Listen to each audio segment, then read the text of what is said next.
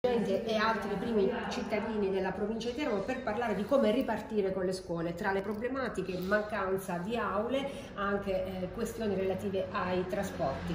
Sì, è un incontro territoriale, è in corso già da, da diverse settimane il eh, sono in corso i lavori del tavolo regionale, che è quello di coordinamento, all'interno del quale i comuni sono presenti attraverso l'ANCI, quindi ho partecipato a tutte le, le riunioni, l'ultima con il ministro Azzolina, alla quale abbiamo rappresentato la criticità specifica, speciale del nostro territorio. Eh, tanto siamo partiti molto tardi, eh, le scuole ecco, hanno avuto forse un'attenzione eh, minore rispetto a quella che avrebbero meritato nel, nel, porre appunto le linee guida che dovevano essere adottate per poter mettere gli enti locali e gli istituti scolastici in condizioni di poter, di poter lavorare. Abbiamo rappresentato quella che è la nostra situazione, noi come Comune di Teramo, come ehm, programma partecipazione ai, ai PON, insomma, abbiamo avuto 310 mila euro, abbiamo già presentato i progetti, abbiamo già formalizzato la, la, le candidature per la sistemazione di alcuni spazi interni dei nostri istituti, eh, istituti scolastici, di certo non è questa la soluzione, anche perché i PON,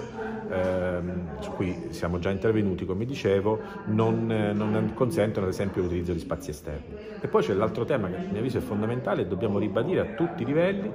eh, il territorio della nostra provincia è un territorio che già è stato costretto per un'altra calamità naturale, per altre due almeno calamità naturali, a ridurre gli spazi, a rivedere gli spazi, parlo ovviamente del, del sisma che ha portato al, alla chiusura di edifici scolastici e di altri edifici pubblici. Quindi una riorganizzazione, una rimodulazione degli spazi oggi è eh, impossibile per il nostro territorio in modo efficace e per questo abbiamo chiesto sia dall'amministrazione che al commissario straordinario Giovanni Degnini delle misure straordinarie, specifiche, che ci consentano appunto di intervenire in base a quella che è la nostra condizione. Da ultimo anche al commissario Legnini abbiamo posto il tema dei MUSP, di poter avere delle strutture appunto eh, mobili, provvisorie, modulari che ci consentano di affrontare l'emergenza Covid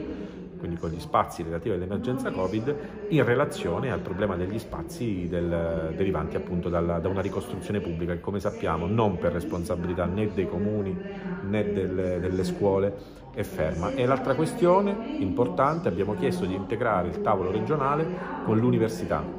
Eh, ho già parlato con il eh, magnifico rettore Mastrocola che come sempre eh, si è dimostrato disponibile a eh, mettere a sistema anche gli spazi universitari, è chiaro che noi dobbiamo tutelare anche l'attività universitaria che eh, ovviamente risente anch'essa no? di una riduzione di spazi. Chiederete spazi quindi all'università? Sì, ho già informalmente chiesto al, eh, rettore, al magnifico rettore di eh, ovviamente gli spazi che sono a disposizione perché chiaramente nella, nella ricognizione che si sta effettuando non può essere tenuta fuori l'università. Anche la provincia, chiederete spazi proprio ma la provincia ha, ha, i suoi problemi di spazio, nel senso ha le sue scuole e deve rinvenire gli spazi per le sue scuole nel territorio. Ciascun comune dovrà farlo in relazione agli istituti scolastici sul, sul territorio di competenza. È chiaro che nel momento in cui tu hai un monitoraggio complessivo, una fotografia complessiva della situazione reale, puoi intervenire anche incrociando gli aspetti, incrociando i dati. Una cosa abbiamo chiesto, perché qui eh, come lo chiedo anche, anche, soprattutto come ANCI, intanto che anche la Regione Abruzzo il cruscotto regionale, che è il contenitore che monitora tutto, deve essere accelerato. E poi l'altro aspetto è che, ferma restando l'autonomia scolastica, vengano date eh, dagli organismi diciamo così, centrali, provinciali e regionali degli indirizzi chiari, univochi, eh, univoci, eh,